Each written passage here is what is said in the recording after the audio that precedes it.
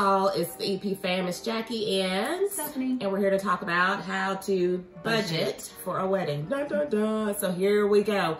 If you want to check out more, make sure you stay tuned in. We're going to give you a lot of good content.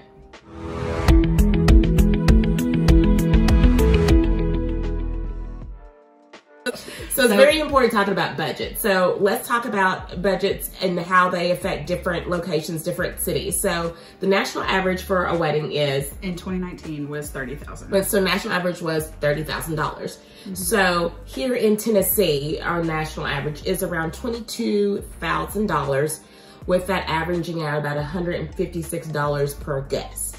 Um, so in other cities, Like Mississippi like Mississippi, is your lowest. is the lowest, and that average was 12,500. twelve thousand five hundred, with an average. What would that be like per guest? That's About $90. $90 per guest. And then we move to the concrete jungle itself, one of the most expensive places to live. It's New York. Um, so their average per wedding is 88,000. Or about 630 per guest. that's a good down payment for a house. Yeah. So, Or a house. or a house. How about that? Um, so those are just the little stats. So we're not gonna break it down too much for you all, but just kind of give you some key things to consider when you're making your budget. And the first thing first is you wanna sit down and have a, a good conversation about what's your limit. What is your max? What is your max? afford? And you may have to have the uncomfortable conversation maybe, because you know some people don't really like talking about money. Nope. But you may need to talk with family, uh, groom side, bride side. Um, you know, it's 2020, not necessarily the traditional role of the bride's family pays. Um, it's kind of all inclusive now. It's all, everybody needs to chip in and contribute in. because everybody's gonna be partying, so everybody should pay to party. Um, so yeah, have that conversation about what's your max, who's contributing to this wedding, how much you can save, and start there. Um, because you want to have those conversations. Um, the budget is the number one thing. You the should do. budget. So if you always say, if you plan, if you fail to plan, you plan to fail. Everybody knows me. I say that quite often because you got to create a plan. And if you don't create a plan, well, you're may not intentionally be planning to fail, but you're gonna fail. So, but there was this cute little meme we posted a while back ago that was just like, you can't. What was it? You can't break a budget if you don't make one. But make the budget, yo. Make the budget. So Because if not, you don't, it, like, the little things will just add up. they will add up. And as they add up, you just, you start spiraling. And You feel like you're spiraling. hemorrhaging money. And then you, you need to enjoy your engagement, not stress. not stress. So Princeton and I spent six months engaged before we even talked about setting a wedding date because the questions will never stop once you get engaged. Well, now when you're dating, it's when are you gonna get engaged? When are you gonna get married? And then you get engaged and it's When's the wedding? when's the wedding? And then you have the wedding and it's when, when you you have have a baby, and then you have a baby, and then it's when you have another baby. It's like the questions never ever stop. So just it's okay to tell people to like "Er, pump your brakes. And then if you have too many babies, you're like, When are you gonna stop When having gonna stop having babies? babies? you can't win, folks. So it's okay to tell people to stay in their lane and mind their business. It's okay, so that you can enjoy this time. You know, it's you would enjoy it. enjoy your engagement, Enjoy your engagement, and then hire a wedding planner but you do need to start with a budget. with the budget, right? So it will make your engagement a lot better. a lot better. So one thing that is a great benefit, added benefit to having a planner is they're going to keep you on target concerning your budget. They're going to help you manage the numbers and and everything that comes with it. And a good thing that we have with our clients is we have a nice little portal. Well, over 75% of our clients aren't local to us. So we deal with a lot of out-of-state brides. And it's great because we have a portal where it can manage the contracts, we manage the numbers, we itemize everything down so that you can know exactly where you're spending your money, um, full checklist of what you should be working on, and also it's a great for guest list management tool.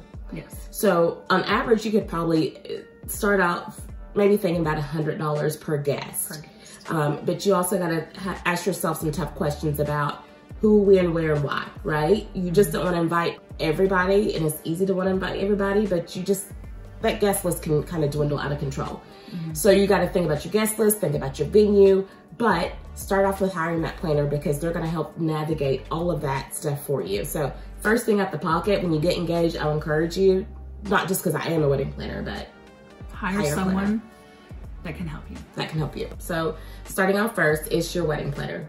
Second, it would be your venue. The venue. So venues can be as rustic chic, elaborate, or modern as you want them to be. But when you're looking at the venue, it could be out in the woods. you know, you could do a backyard wedding, um, a, garden. a garden, a park when in the warmer days, because those don't really cost a lot of money if you're using a park for a wedding.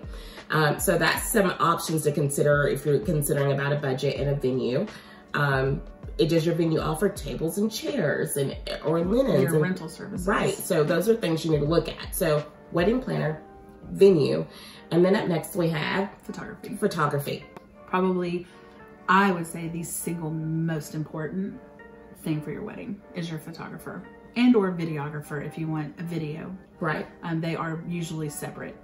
Um, so that would be something you would have to budget for. But I, because your engagement and your your dating, your your your pre-wedding life is just but a moment. Right. But your wedding and your photos from your wedding and your videos from your wedding, that is something that you will look back on for the rest of your lives. Right. That is, I think the photography is it's important. It's, it's important. Very it's important. Very important. So, you know, on average, you can probably expect to spend around $3,000 as a baseline for a really good photographer, especially here in the Knoxville area. Unless you're, you stumble upon a photographer that's kind of new and up and coming. Um, they're, they're good, but they just may not have a good expanded portfolio.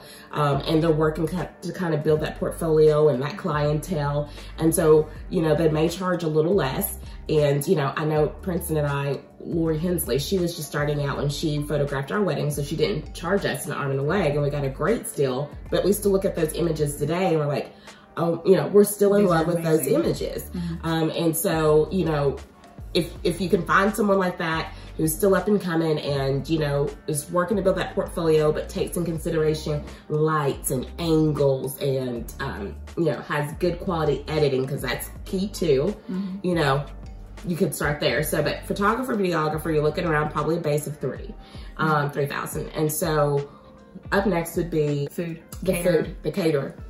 Do you, want, have to, you need to keep your guests happy. Right. So food is your key and you can go, I mean, you need to plan your food for your venue. Um, if you're, you probably don't want plated service out in the woods somewhere. Right. But um, that would probably be more like low key barbecue or, or right. something to that extent. Right. You've got to think about your guest um, and what will kind of work for your overall theme of your wedding because the wedding does have an overall theme. So, mm-hmm. um, are we going to serve hors d'oeuvres um, during cocktail hour? Um, are we going to offer that to the guests? Do we want to plate it? Do we want buffet? Do we just want, you know, just you know, small finger foods and charcuterie boards or what have you. So those are things to consider um, that you might want to take in consideration. You could do a pasta bar. We've seen that done before. Taco bar. Taco bars we've seen done before. So just there's different options. You just got to be creative. But if mm -hmm. you're a big foodie and food is your main, is like your your thing. Food is life for you. Then you might want to make a little bigger budget for your food. And that's the good thing about when you make, sit down to to plan your budget is you know, start off with like what your max budget is. And then as you go along, what what is the most important to you? Right. Is your venue the most important or is the food or is the photography? And then you can just go through and say, okay, well, I want to spend, you know, I want this photographer. It's going to cost me this much. So maybe you need to take a little bit away from your your food or your flowers or right. or, or some of your other expenses so that you can have exactly what you want as far as that specific thing that you are your goal of what you want to attain. Right. Like what are you willing to splurge on? What do you feel like you can't live without? And then what's that thing I always say to my clients, like what's that thing that you really don't too much care about? That it's okay if it doesn't, you know, but what is the one thing that you're like, I have to have and I want it and I don't care. I'm just gonna call some and get it. Mm -hmm. So up next would be our flowers. So for your flowers, you really need to kind of work with what's in season because that's really going to save you some money. Mm-hmm. Um, so you've got bouquets for yourself, bridal bouquets, boutonnieres, corsages, um, flower girl attire, flower girls, ring bear, centerpieces, alleyway decor, arbor decor. Um, it could be just as elaborate or as simple as you want, but those are some of the things you need to kind of consider when you're doing your florals. Um, or are you gonna repurpose those bouquets and make those bouquets the centerpieces or what have you? So just a couple of things to think about when it comes to your florals. And then you have your DJ. Your DJ is important. He is super important. Super important. Or she. He or she is super importante. Because they are basically going to run your reception. Right.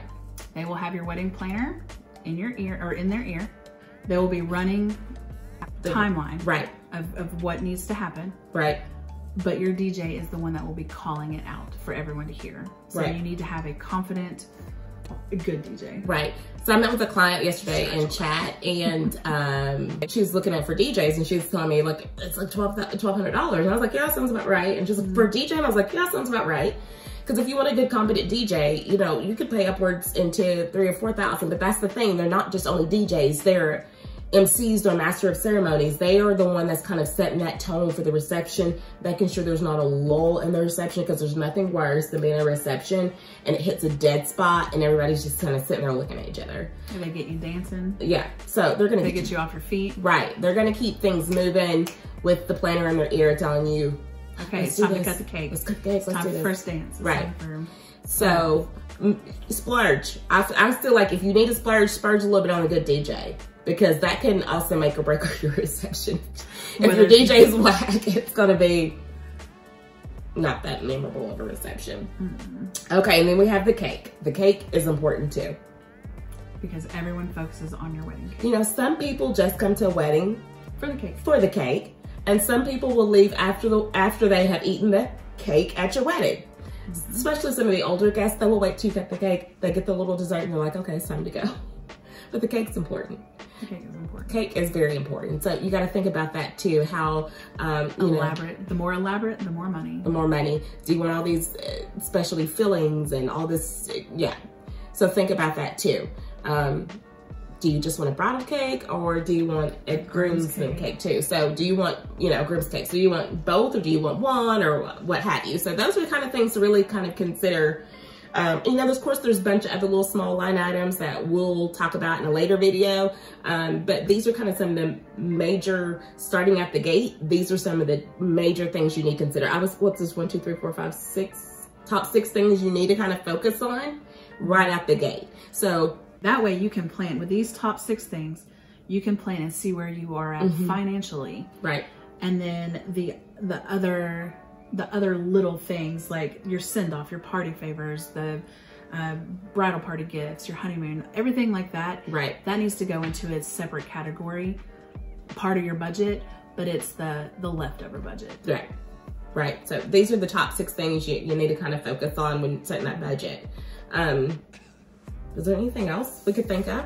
So we know that planning a wedding is, is stressful um, and at times can be chaotic. So at the gate, I would encourage you to hire a wedding planner, not just because I am a wedding planner, but it will help to bring sanity and clarity and direction for you and the people around you. Because if you're stressed out about this, guess what? You're stressing everybody else around you out about it as well. So hire your planner at the gate. They're gonna navigate and manage all of this for you um, and streamline the process for you so that you can actually enjoy this process.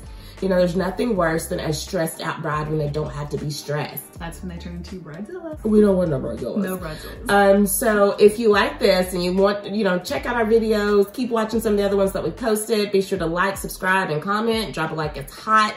And if you haven't checked out our Facebook page, do that as well, and as well as our website. By the way, we are booking like crazy in 2020.